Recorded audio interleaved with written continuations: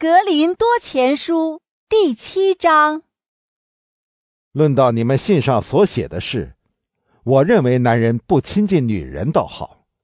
可是，为了避免淫乱，男人当各有自己的妻子，女人当各有自己的丈夫。丈夫对妻子该尽他应尽的义务，妻子对丈夫也是如此。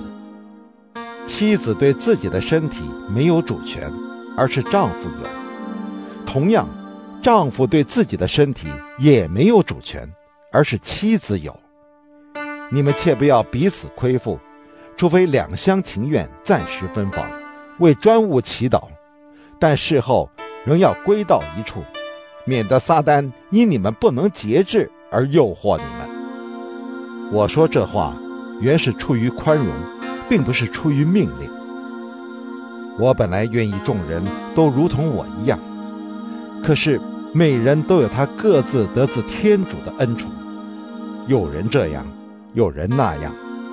我对那些尚未结婚的人，特别对寡妇说：如果他们能止于现状，像我一样，为他们倒好；但若他们节制不住，就让他们婚嫁，因为与其欲火中烧。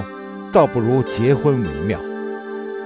至于那些已经结婚的，我命令，其实不是我，而是主命令，妻子不可离开丈夫。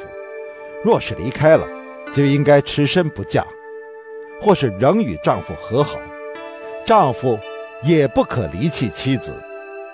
对其余的人，是我说，而不是主说。倘若某弟兄有不信主的妻子，妻子也同意与他同居，就不应该离弃他。倘若某妇人有不信主的丈夫，丈夫也同意与她同居，就不应该离弃丈夫，因为不信主的丈夫因妻子而成了圣洁的，不信主的妻子也因弟兄而成了圣洁的。不然，你们的儿女就是不洁的，其实他们却是圣洁的。但若不信主的一方要离去，就由他离去。在这种情形之下，兄弟或姊妹不必受拘束。天主召叫了我们，原是为平安。因为你这为妻子的，怎么知道你能救丈夫呢？或者你这为丈夫的，怎么知道你能救妻子呢？此外，主怎样分给了个人，天主怎样召选了个人。个人就该怎样生活下去？这原是我在各教会内所训示的。有人是受割损后蒙召的吗？他就不该掩盖割损的记号。有人是未受割损蒙召的吗？他就不该受割损。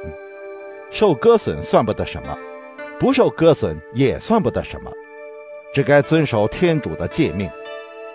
个人在什么身份上蒙召，就该安于这身份。你是做奴隶蒙召的吗？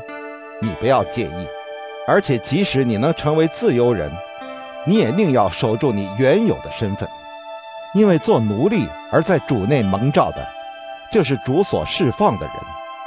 同样，那有自由而蒙召的人，就是基督的奴隶。你们是用高价买来的，切不要做人的奴隶。弟兄们，个人在什么身份上蒙召？就在天主前安于这身份吧。论到同身的人，我没有主的命令，只就我盟主的仁慈，作为一个忠信的人，说出我的意见。为了现实的急难，依我看来，为人这样倒好。你有妻子的束缚吗？不要寻求解脱。你没有妻子的束缚吗？不要寻求妻室。但是你若娶妻，你并没有犯罪。童女若出嫁，也没有犯罪。不过这等人要遭受肉身上的痛苦，我却愿意你们免受这些痛苦。弟兄们，我给你们说，时限是短促的。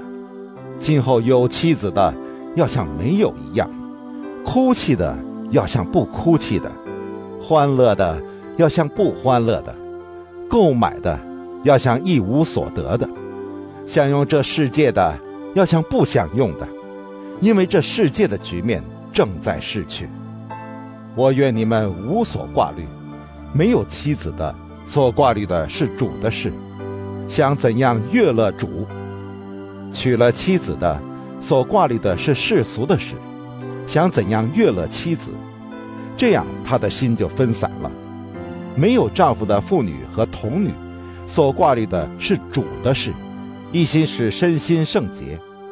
至于已出嫁的，所挂虑的是世俗的事，想怎样悦乐丈夫。我说这话是为你们的益处，并不是要设下圈套陷害你们，而只是为叫你们更齐全，得以不断的专心事主。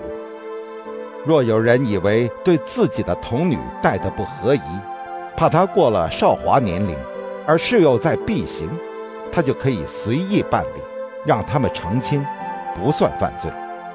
但是谁若心意坚定，没有不得已的事，而又能随自己的意愿处置，这样心里决定了要保存自己的童女，的确做得好。